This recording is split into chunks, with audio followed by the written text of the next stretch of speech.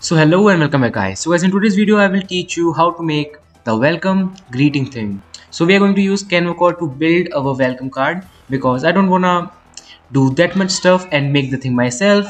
Well if you guys want I can teach you how to make a welcome card yourself with canvas but you can comment out that if you want me to do that.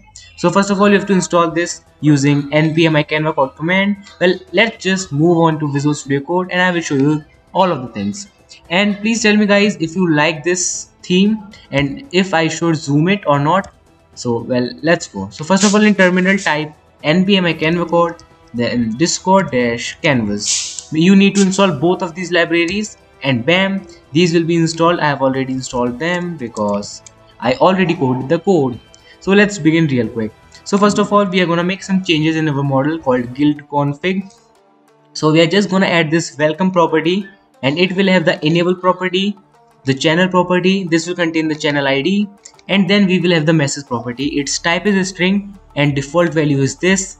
Welcome and mention the user. Well i will tell you about this stuff and let's move on to event.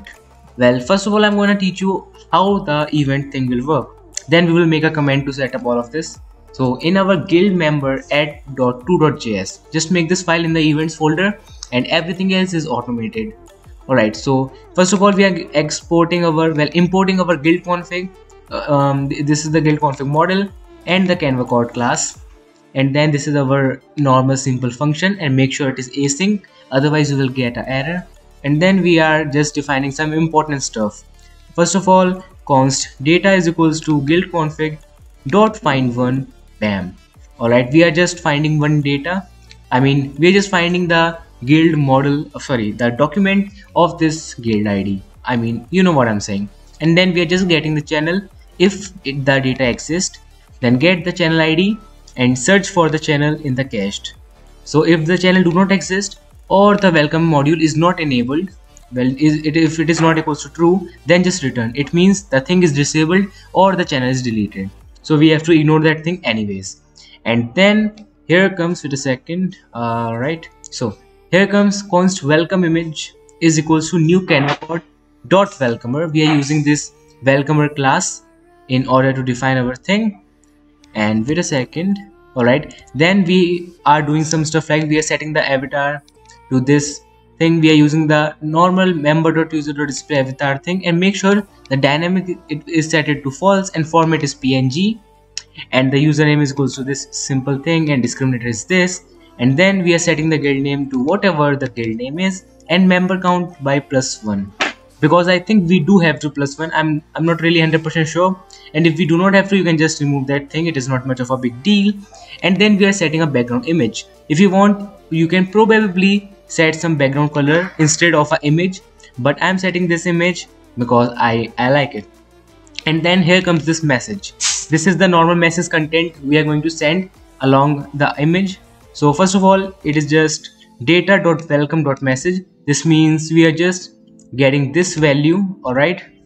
And then we are to replace the mention thing to by mentioning the user of course. And by the way this is a simple regex to replace each and every wait a second to replace each and every this thing this one to mention. And then we have one for the server thing. It will be replaced by the guild name. And then we have the number of members all right pretty simple. And also we are doing this for user. It will replace this user thing to the username. And then we are finally sending the stuff to the channel. The content refers to this message. And then we have the files. And by the way let's just name it content. And then we are gonna just do this. Bam done. So pretty simple i will say. And now we can move on to the main thing. And wait a second. I just added this thing for testing. If message or content is equals to testo well it will just emit the guild member add function i mean event and it will provide this parameter. I'm doing this because i don't have any alt account to join this server for testing. So you know i hope you understand what i'm saying right? And then here comes the main thing my friend. The real command which will set up or control each and everything. This time it is pretty simple and small. And if you want i can extend the stuff too. So first of all this is our we are just importing our uh, the model the database model of guild configs and then we are exporting a simple command. In data we have the name which will be welcome and then we have the description set up the welcome configuration for a server and then we have options. Quite a lot of options. So the first one the first option is for enabling the thing. The name is enable and the description is enable the mo module for your server and type is one. One refers to the subcommand type? Well yeah subcommand. Alright but anyways now we have options. We are only going to have a single option in our enable command. That will be the channel. Like where you want to send the welcome image. And we are setting that type to 7 and it is required so it is true. You can make it false too but I will say that channel thing is important. And then we have a disable command. It is just for disabling the welcome module of course. And then we have this the set message command well the name is set message description is change the welcome message for server and then we have these options and the well we only have a single option the message option and make sure the type is 3 I don't know why I typed it 7 but I probably just copy pasted that stuff.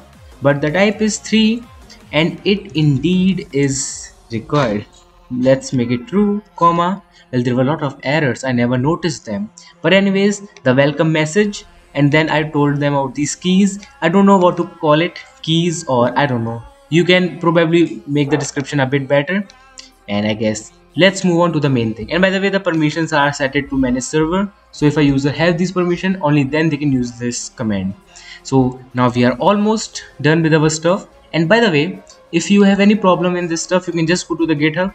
And if you are still unable to do the thing just create an issue on the github or just put the thing in the comment box on youtube. So first of all we are replying to the interaction saying the bot is thinking. And then we are getting some important stuff. First of all we are fetching the guild config. We are first of all first searching for the data. If data exists okay. If the data do not exist just create one. And by the way if you don't know about mongoose go check it out on my youtube. Well i will post the link in the description or something. And then we have the channel well we are just getting the channel from our options. And by the way guys this channel thing should be equal to uh, this option name. All right? Well I hope you know about interactions. And then here comes the message. Well we are just getting the message thing. And then command refers to the sub command we are in. So first of all if the sub command is equals to enable then we are first of all gonna check if the thing is already enabled data.welcome.enable and if the data.welcome.channel is equals to the channel provided. So you might ask why we are doing this. It is because well we are checking when a user use the enable command we have to check if the thing is already enabled. And second thing we have to check if the channel is already set to the same thing. All right well this is just a simple check and it just replies saying the module is already enabled and the channel you are providing us is the same channel we have in our database. So why the heck you are doing this and then this and then the second if check. It is just for checking the channel type. If the channel do not exist second it is totally impossible that channel do not exist but i added it anyways. And then we have the or check. Uh, it is checking if channel type is not equal to guild text or the guild news. If it is not equal to any of these then throw this error invalid channel was provided. Please provide a text channel. Well to be honest we can literally remove this guild news thing but just it is totally possible that few people might want to make it a news channel so I added that. And then we are changing the data.welcome property to this. We are setting the channel id to the provided channels id and then we are enabling the thing and the message is equals to data.welcome.message well now we are going to use the find one and update function because i hate to use the dot save thing. Well we can probably do data dot save thing but i don't like to do that so we are gonna do await guild config find and update. Then we will provide this filter and we're gonna set the welcome property to all of this stuff all right and then comes the interaction.edit reply and we are just saying the module is enabled and channel is set to this. And guys one more thing make sure you are using edit.edit reply because we already replied to the interaction here all right and now comes the disable thing. In disable thing we are we are just checking one thing if the thing is already disabled then just say the module is already disabled. Otherwise and by the way let's make it if it is not equals to true right? So it is just checking if the thing is not true and if it is not true this means it is false and then we just say the welcome module is already disabled. And if it is not disabled just disable the thing and say the module is disabled. Pretty simple i guess. And then we have the set message command. It is also simple as frick. We just have to change the data we are just well i'm i'm doing this because the message thing it is a required option. So user have to provide it. And then we are just setting the welcome.message property to that property. And then we are replying to the user saying the welcome message is changed. And then one more thing. If the thing is disabled if the welcome module is disabled then we will also say by the way the welcome module is disabled. So that user can know that the thing is disabled. And guess what guys? You made the welcome greeting thing successfully just by a small line of code. And now let me show you that all of this works and thank god I was recording this correct screen. And now let's jump to discord well I already tested it. So you know if I type test 2 then it is gonna do one thing. Well it is gonna emit that event. Well you know what I'm saying? And now you can see it said welcome Shishui but alt to hype. Now we are a family of 174 thing. Well you know it is working and i guess thanks a lot for watching. If you want to know anything more just tell me. I will do it. I will make the video. And bye. And by the way make issue on github or type on comment section because i'm dead on discord bye